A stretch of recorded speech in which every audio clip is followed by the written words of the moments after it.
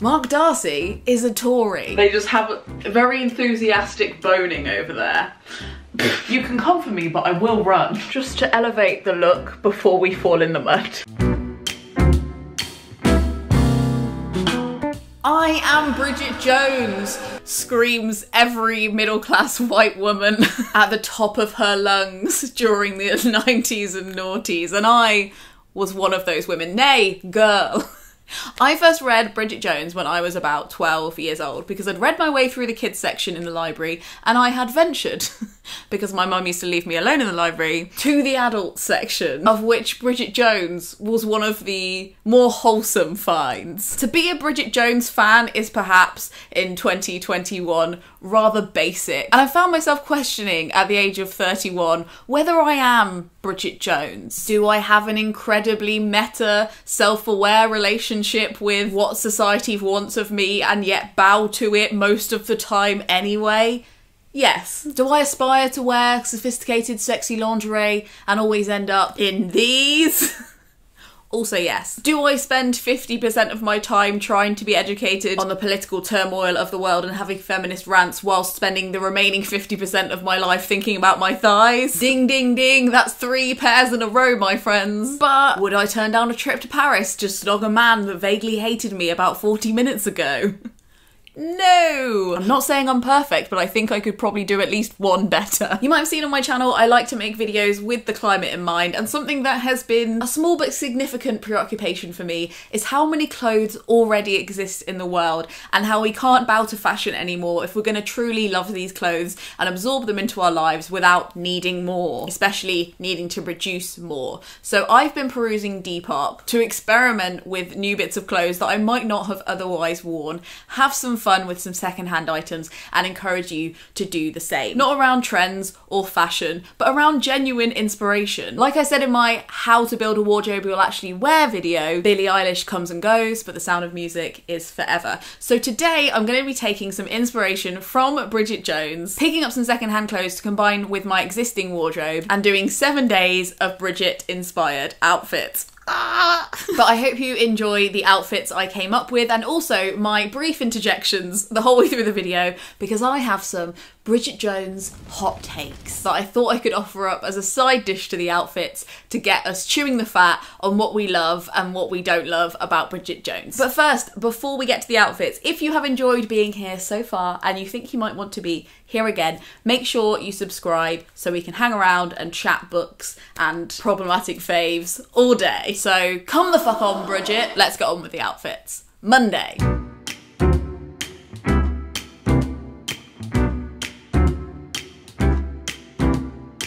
So it's day one and we've already had a little bit of a Bridget Jones moment. So you know how when people send you stuff from Depop in like a plastic bag and they fold it over and then you like cut it open? There was some of the material for today's top in the fold as I cut it. So We've got a loose sleeve and a little bit of a racy slit up the side now, but we'll see if we can make this work. Today is gonna be like your tits in that top. P.S. Like your tits in that top. So I've got my Is Skirt Off Sick skirt, I've got my see-through pink top, some sheer tights, a very 90s hair clip, and of course, a black bra.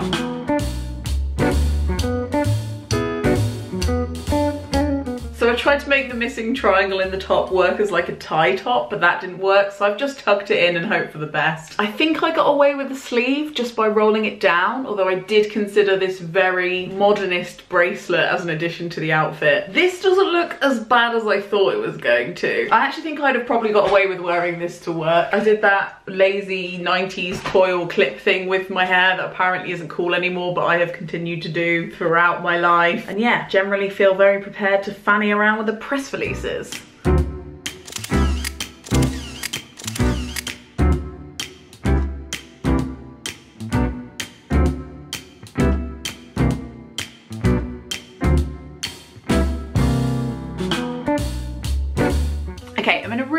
Today and uh, the way I'm doing this project is I've sorted out all my outfits and I've put them in order in my wardrobe because I'm very cool. Um, but I'm not prescribing myself what days I wear stuff and I suggest if you want to do an experiment like this, you do that too. So it doesn't feel too prescriptive and you still get to play. So today, because I'm in such a good mood, I feel like having a celebration. And my favourite celebration in all of the Bridget Jones films is her mum and dad's renewing of their vows. Just the right amount of extra, especially the bridesmaids. This is what Bridget Jones looks in her bridesmaid outfit. It's kind of supposed to be tasteless because her mum is like upper middle class with aspirations but doesn't know what taste is. Um, but justice for Mrs. Jones, I think this is actually a really bold and forward thinking choice in um, bridal attire. Uh, and I will be mimicking it with my outfit today. Are you ready?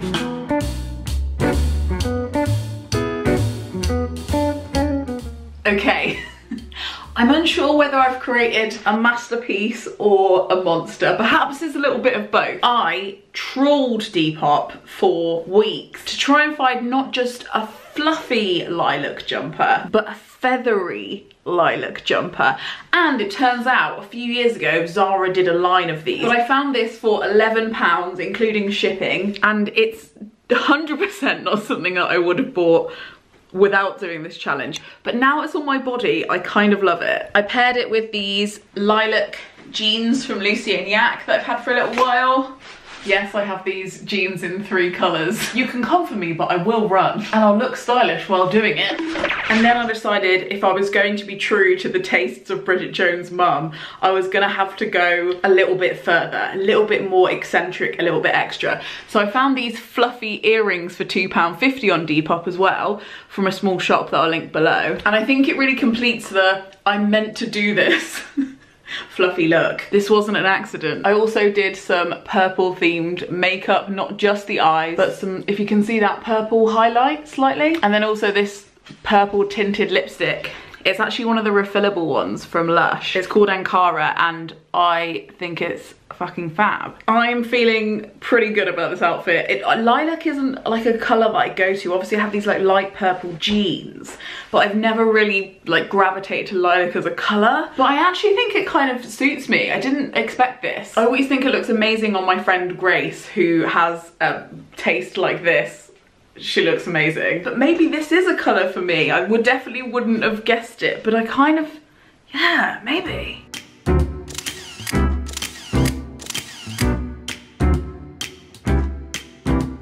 Hot take intermission number one. No one ever said Bridget Jones was poor.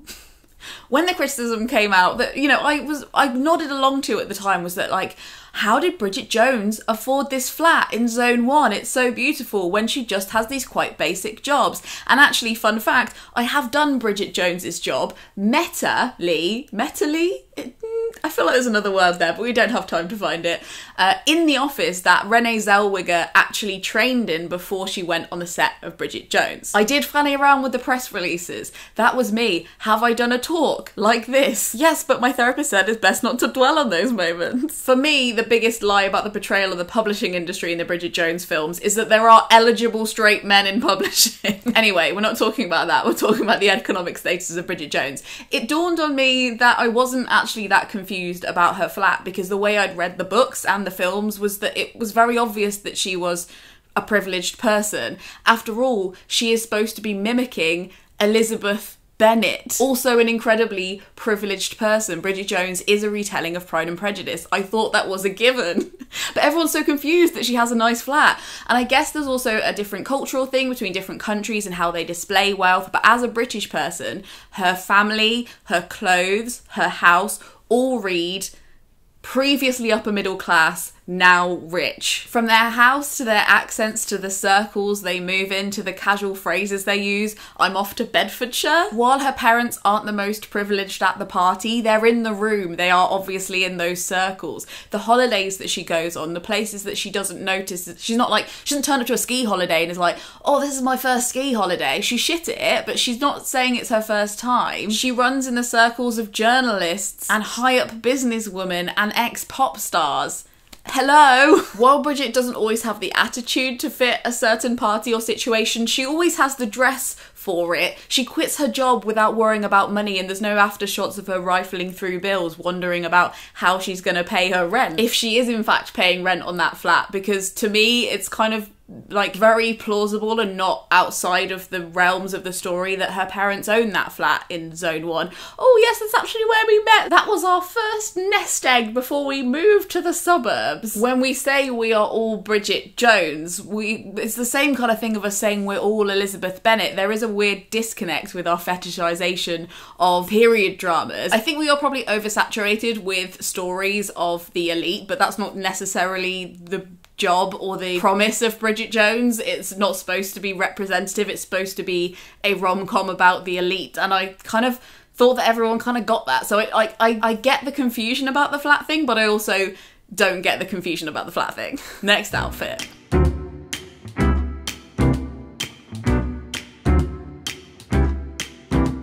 So today I wasn't sure what outfit to wear and then I looked outside. It is pissing it down out there and I am about to go and try and hang out with my friends in a garden. So obviously it has to be festival day and festival day means white.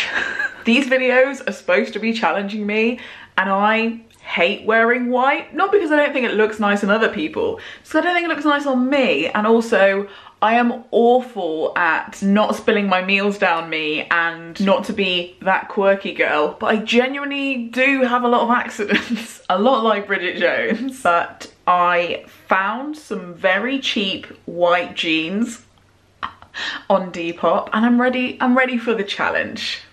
Let's go. Rainbow clothes if I die while doing this, just know that I always loved you. Okay, viewers, meet only white top I own. Only white top I own, meet viewers. Hi. This is really my only option apart from buying a white jumper, but I feel like I'm so certain that I'm not gonna keep the white jeans that it just felt disingenuous to also get a white jumper. As you can see, the jeans are a bit tight. There's a reason I stopped wearing skinny jeans and if I just had one image to explain why, it would be this. But they're not too uncomfortable. I think I can get through the day in them. This is supposed to be reminiscent of the festival look that Bridget does in the third film because she is too posh to have ever been to a festival before and I thought I'd feel really uncomfortable in this outfit but I don't feel not me. I mean obviously I chose the kind of white stuff I'd be wearing and maybe if I was gonna have something that wasn't all white I'd put like a colourful belt with this shirt but I honestly don't hate it and actually maybe I can go full this isn't appropriate for a festival put some silver hoops in just to elevate the look before we fall in the mud. Okay let's take some pictures.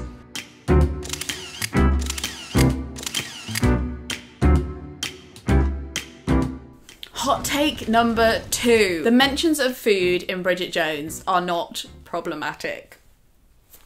Are they awkward? Yes. Are they potentially triggering for some people? Totally. Would they get published today? Maybe in a softer way, not quite. But as I've said in other videos, literature isn't there to print your perfect characters, it's there to print the possible. And Bridget Jones's problem and calorie counting and um, over mediation of her relationship with food is not only incredibly possible but incredibly accurate. Not only for women then but a lot of women now. There is a debate around whether you should print like some a character's ideal weight in a book or at least not without a trigger warning of some kind. But her relationship with food isn't inherently problematic. It's just true and she critiques it the whole way through the book. It's actually one of the things that made me feel less alone when i had issues with food. Rereading bridget jones always made me feel like i wasn't alone um, and she also encourages herself to eat more food at some points of the book and then realizes that's also an unhealthy way to do stuff when you over congratulate yourself for overeating because she's still being controlled by her own expectations of her behavior and how she wants other people to perceive her as like a real rad feminist. So the book is really about her search for imperfection and how she always feels like she's doing the wrong thing. Emma from BookBreak actually made a really great video all about that, which I'm going to link below. Um, and I totally agree. I think that just labeling Bridget's behavior as problematic and like, oh, well, we shouldn't read that book anymore, it's so outdated, doesn't really face the fact that women did go through that during the 90s and the noughties, whatever class bracket they were in, and they're still going through it now. It doesn't mean that it's necessarily going to be helpful for everybody to read it, but as somebody who does struggle with food, I find it incredibly helpful to be able to laugh at my own behavior and the contradictions within my own thoughts and process them alongside Bridget.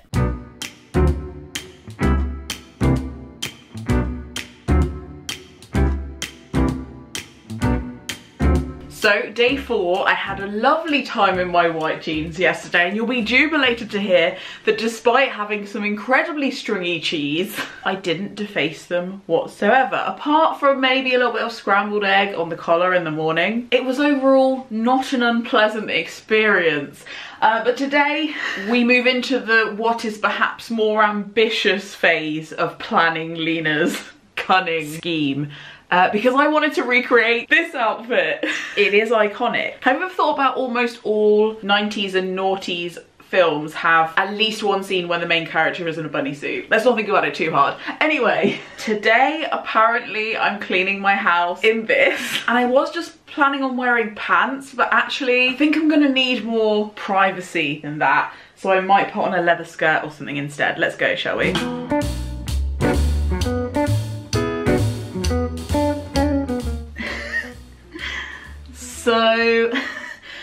Is what we've got. Depop, two quid. It's kind of giving me more Minnie Mouse in mourning for her copyright claims, but uh, I don't hate it. Today is gonna be a joyful day, so I'm gonna tuck away the veil part. We can mold these into, yeah, it's just a very tiny bunny rabbit. Now the only real great shame, both these clothing items are things I already had. This is a top from Vivien of Holloway that has some very pointy, pretty fake, I'll be honest, vintage boob. They just have very enthusiastic boning over there. and then I thought I, instead of just wearing pants, um, I would wear the, my leather skirt, which I really, really love. Cheating because I wore it on day one, potentially. But I hadn't actually thought of putting these two bits of clothing together. Usually I put this with like a 50s kind of skirt. It's definitely more deliberately sexy than is my comfort zone, but I'm excited to fanny around the house uh, this Sunday and just give everything a bit of a clean while looking slightly sultry. Maybe once the cleaning's done, we'll pop into a Tarts and Vicars party. Who can say?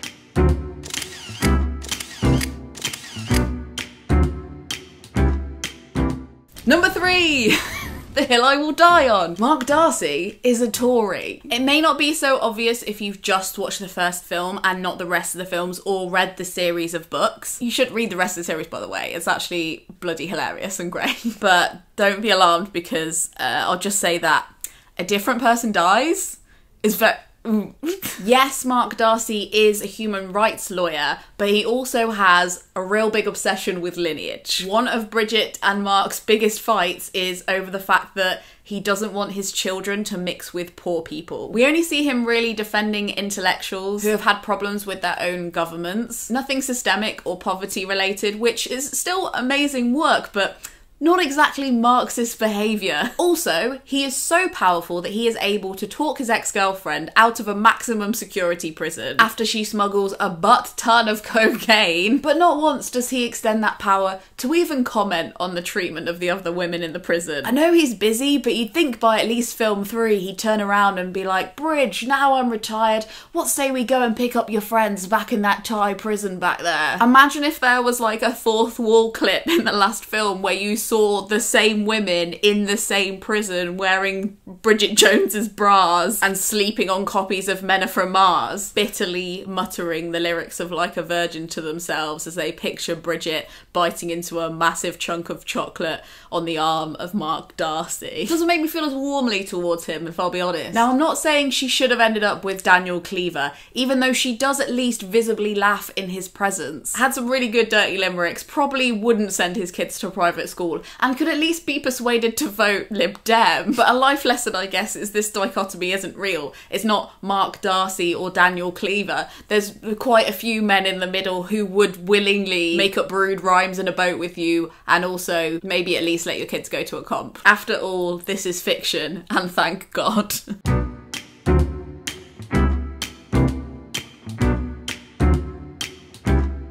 Okay, today is absolutely tipping it out there. It looks so sad, which means that we are really in need of some Christmas spirit and I have the perfect outfit. I'm going in, I'm going for this. now,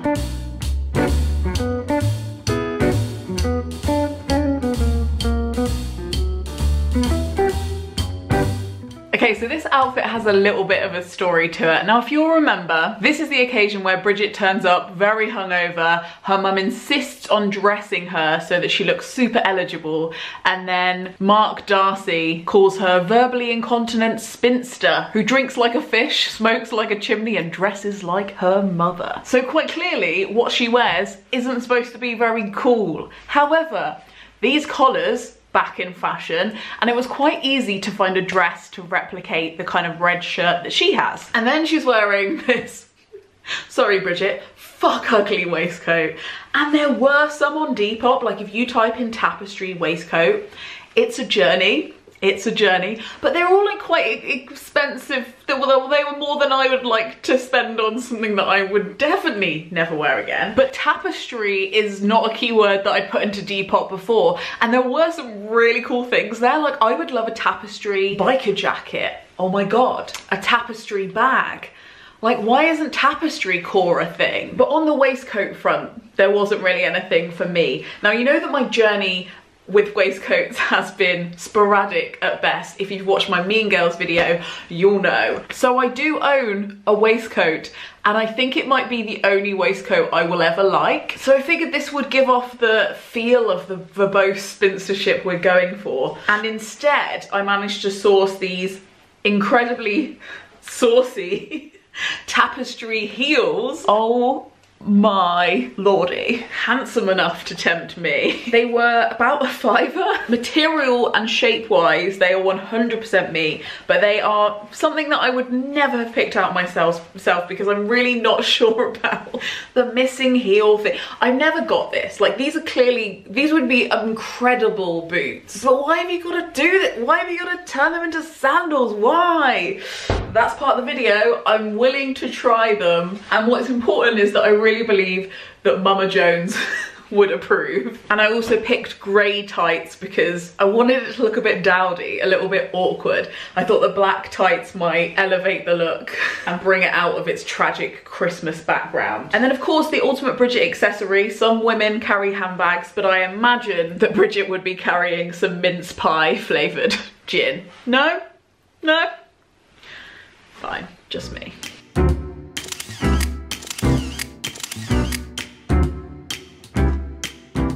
So those were the outfits and those were my hot takes. Thank you so much for watching this video. Uh, this very strange concept for a video was made possible by the Gumption Club, who thankfully believe in my strange brain and like me creating these. So if you'd like to be one of the people who makes these videos free for everybody and possible in general, you can go in the description below and read all about the Gumption Club. If you enjoyed this video, here are some other videos I think that you might like. If you had a nice time, make sure to subscribe so we can hang around together again.